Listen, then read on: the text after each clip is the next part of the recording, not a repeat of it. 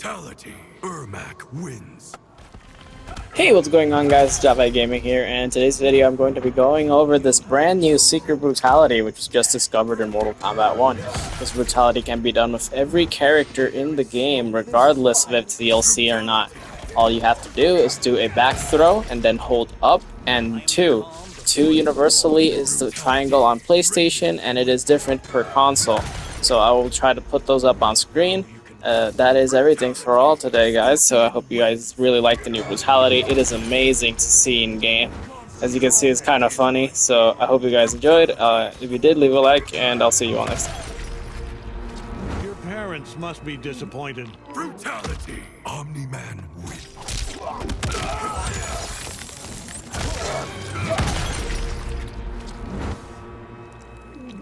Peace out, motherfucker. Brutality. Peacemaker wins.